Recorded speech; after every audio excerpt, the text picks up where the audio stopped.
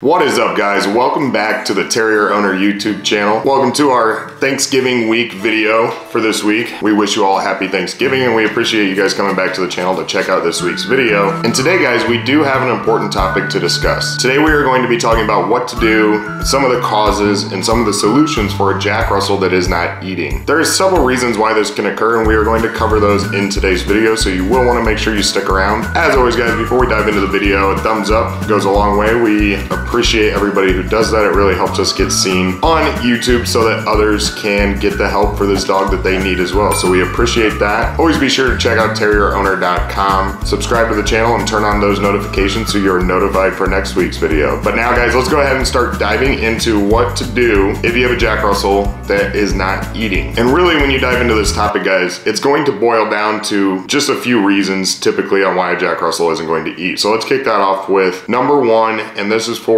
any of you who recently adopted your Jack Russell and you're just, you know, starting your routines and trying to figure this dog out. But in the beginning, if a Jack Russell isn't eating, it could be something as simple as they don't understand the feeding routine yet. So they just came home from the breeder. They're used to getting what they need from that breeder or from the mother Jack Russell, and they just don't really know the whole world around them. They're trying to socialize and figure everything out at that point. We talked about fear cycles last in last week's video, which is important to understand somewhat for this topic because it's what they're going through when they get home. They're just mainly sleeping or cur curling up in your lap quite a bit. And they may not be eating because they just haven't figured out that that's what they should be doing. So it's important to, you know, get a food bowl that's down on their level, nice and low, isolate it from other pets or other dogs' food so they don't eat your Jack Russell's food, and really try and get them into a groove with a routine. You know, usually you're gonna start off by feeding your dog multiple times per day, closer to probably four in the beginning, small meals. It helps a lot with potty training instead of trying to spread them out too much. So you're gonna start with a routine like that, but you wanna stay really consistent with your timing. So if your first round of times was, you know, 6 a.m., noon, 4 and 8 o'clock, for example, and it was four small feedings, you want to stay consistent with that because this dog is smart, but they need to figure out that routine. And that could be one of the reasons they're not eating. It's not necessarily that they're not hungry, they're just confused. So make sure to stick to a routine and really get that engraved into their head so that they are eating and getting the nutrition they need at a critical time of their life to grow, build muscle, and start to develop. The next reason your dog might not be eating could just be because they're not hungry. Uh, Luna goes through that a lot. She's more of a free eater is how I would explain it. Like if I fill up a, a food bowl,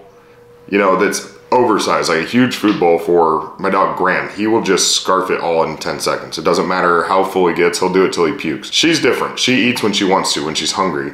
She will leave half of her food in her bowl, then she'll go back and get more later when she wants it, that kind of thing. So I, I was confused too because I was used to Graham eating the way he does. So her having leftover food is not something I was used to seeing. But keep in mind that it doesn't necessarily mean that you have a problem that they're not eating. They just may not be hungry and they're gonna come back to that food bowl whenever they choose. On the flip side of that though, guys, you do need to realize that, you know, there's an inverse to that. If they are neglecting their food for a long period of time, or it's clear that they should have been hungry by, you know, the time where you're at right now and they still haven't ate, that could mean you need a trip to the vet to see if they're sick or if they're going through some kind of illness or injury you know, they're not going to go a full day without eating. They're going to get hungry. She she's never gone a full day without eating her, all of her food. She'll finish it at some point.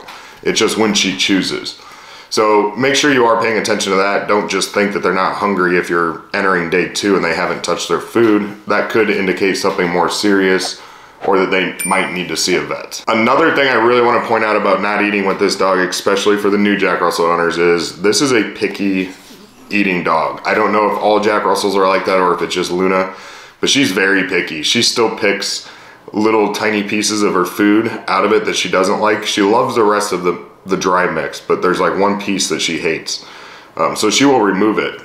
I don't know how extreme this can get with other Jack Russells. So the point I'm trying to make is maybe your dog just doesn't like the food you choose I don't know if that can really happen. I would think if, you know, the dog gets that hungry, they're going to eat whatever at that point. But I would make sure that you realize that they are picky and they may be just trying to tell you they don't like the food. I would say the best way to be able to diagnose this would be able to see them kind of interested in it, sniffing it or coming around it or even taking a bite and then not going back for more.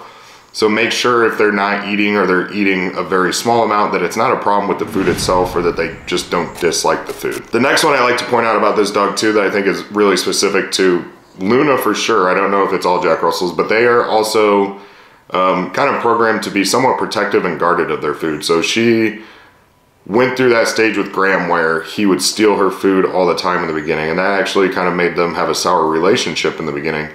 They're fine now, but she will, she has this weird thing she does where she will take a blanket that's like in her crate, and her food bowl's outside of the crate, um, and the blanket's just in there. Like the crate's always open now, so she can just go in and out of it whenever she chooses. It's kind of like a comfortable little safe spot for her, so to speak. But she will take her blanket and move it out of there so that she can cover her food bowl. It's like she's hiding her food. Um, I think this is her just trying to be kind of a, you know, I think this is her just kind of trying to prove a point to Graham to leave my food alone. I'm not really sure, but I have noticed that compared to other dogs, these dogs are smart. It's almost like she's saving her food for when she wants it and she will hide it and protect it. So that could be another reason potentially on why you're seeing your Jack Russell not eat. So the biggest thing to keep in mind about this topic, guys, is I mean, when they get hungry, they're gonna eat.